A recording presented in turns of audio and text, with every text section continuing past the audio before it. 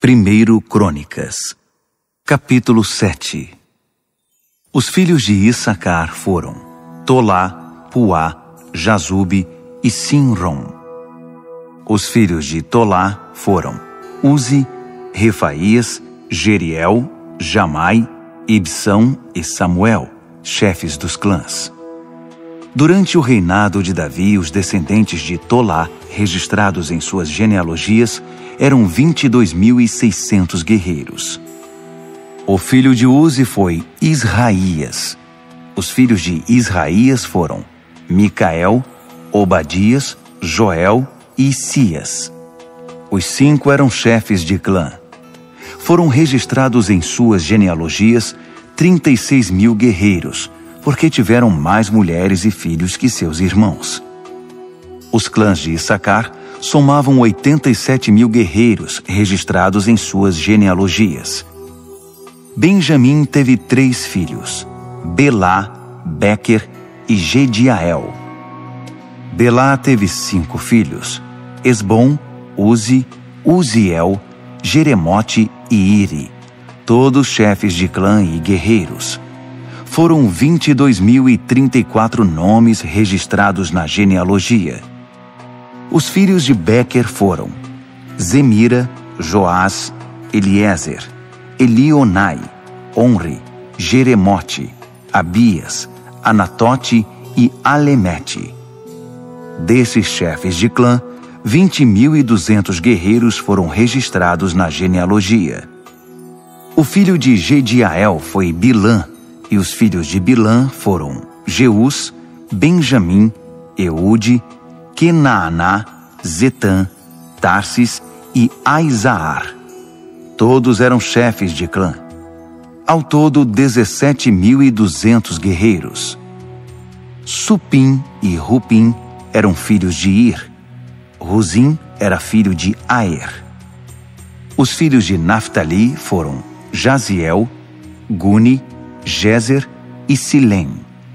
Foram registrados sob a descendência materna de Bila, concubina de seu avô.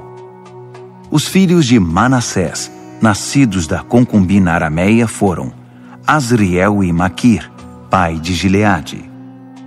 Maquir tomou por mulher Maaca, irmã de Rupim e de Supim.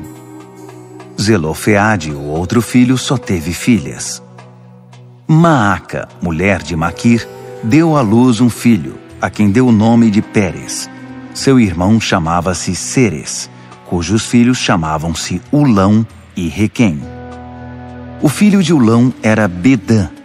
Esses foram os descendentes de Gileade, filho de Maquir, filho de Manassés. Sua irmã Ramolequete deu à luz Isode, Abiezer e Maalá. Os filhos de Semida foram Aiã Siquém, Lique e Anião. Os filhos de Efraim foram Sutela, seu filho Bered, seu filho Taate, seu filho Eleade, seu filho Taate, seu filho Zabade, seu filho Sutela. Ezer e Eleade, filhos de Efraim, foram mortos pelos moradores de Gade quando tentavam roubar gado deles. Efraim chorou por muito tempo a morte deles, e a família se reuniu para consolá-lo. Então ele se deitou outra vez com sua mulher, e ela deu à luz um filho. Ele o chamou Berias, Azarão, por causa da desgraça que sobreveio à sua família. Sua filha chamava-se Seerá. Foi ela quem fundou Bet Horon Baixa, Bet Horon Alta e Uzen Seerá. Efraim também teve Refa, pai de Rezefe. Tela foi seu filho, que foi pai de Taã, que foi pai de Lada, que foi pai de Amiúde, que foi pai de Elisama, que foi pai de Num, que foi pai de Josué. Eles ocuparam Betel e os arredores, desde Naarã a leste de Gézer e seus povoados a oeste, com Siquém e seus povoados, estendendo-se até Aiá e seus povoados. Ao lado de Manassés estavam Bet-Sean, Taanac, Megido, Dor e seus respectivos povoados. Os descendentes de José, filho de Israel, viviam nesses lugares. Os filhos de Azer foram Imna, Isvá, Isvi e Berias. A irmã deles chamava-se Sera. Os filhos de Berias foram Heber e Malquiel, pai de Bisravite. Heber foi pai de Jaflete, Somer, Rotão e Suá, irmã deles. Jaflete foi pai de Pazaque, Bimal e Asvate. Seu irmão Somer foi pai de Aí, Roga, Jeubá e Arã. Seu irmão Relem foi pai de Zofa, Imna, Seles e Amal.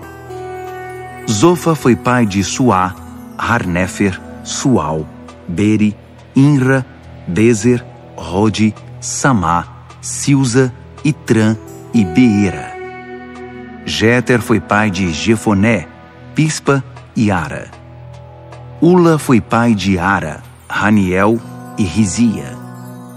Essa foi a descendência de Azer, todos responsáveis de bom caráter e corajosos lutadores. Foram excelentes líderes. Foram registrados 26 mil homens de combate na genealogia da família.